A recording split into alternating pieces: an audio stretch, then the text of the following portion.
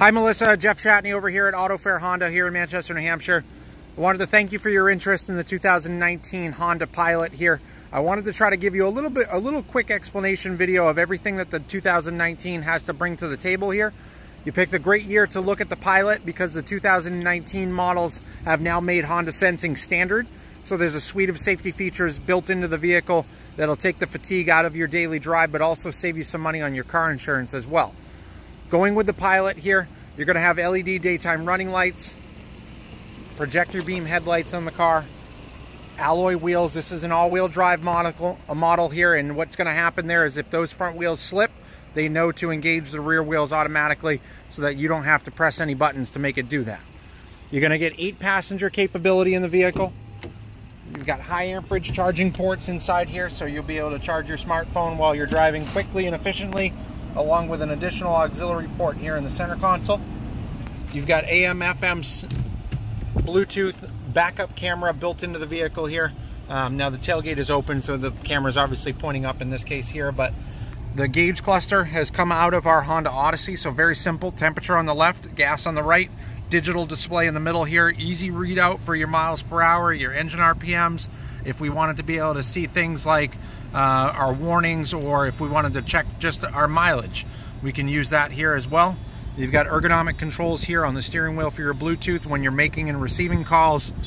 Cruise control can be set on the right side.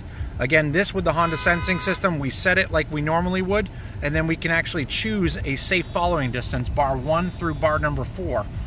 Four bars being the maximum distance. This pilot will brake automatically for you when you're in bumper to bumper traffic so that when you hit that traffic jam, you don't have to cancel your cruise control.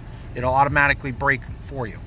You've got a lane keeping assistant here that can actually find the road markings on the road and it will use the electronic steering to center you within the lane here as well. I'm gonna get into the second row here.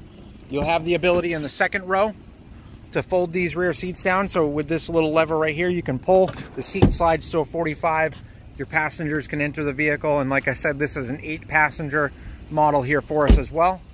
And then at the very back of the vehicle, the third row can fold flat. The second row can too. So if you do need to put, you know, a bureau of some sort or something like that in here, you do have the ability to do that with this as well.